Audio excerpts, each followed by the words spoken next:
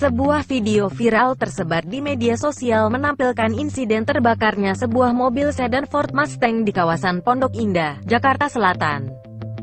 Usut punya usut kerugian pemilik mobil ditaksir sekitar 2 miliar rupiah.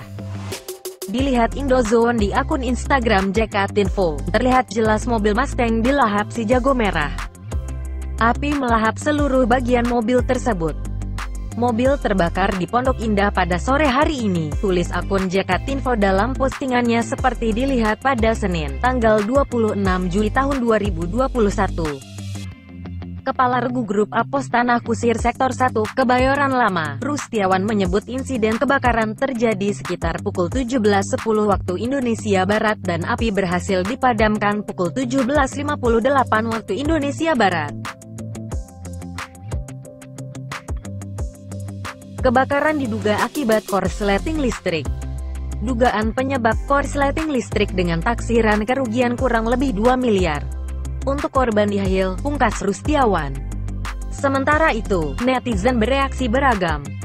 Wah mobil Dominic Toretto nih, kata Diditan. Jadi bagaimana menurut Anda?